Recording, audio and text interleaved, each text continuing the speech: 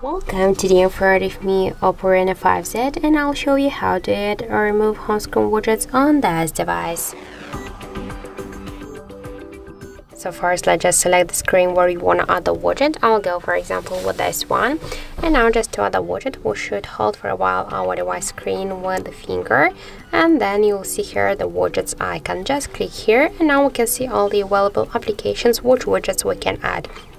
For example, the YouTube Music has two widgets. The Gmail has only one of the widgets. The Google Chrome has four, five different types of the widgets. Uh, for example, let's use the calendar. We can add the uh, just month view, the full month view of the calendar or just the schedule. And to add the widget, you should click only once on the widget. And if you want to move it here on the screen, just hold it and drag it by this way.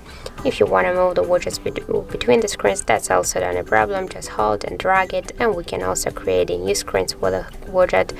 If you want to resize the widget, just hold it for, oh, sorry, hold it for a while. And after that, you can make it bigger or smaller by this way and if you want to remove it you should hold it and after that tap here to remove icon and click to remove widgets again.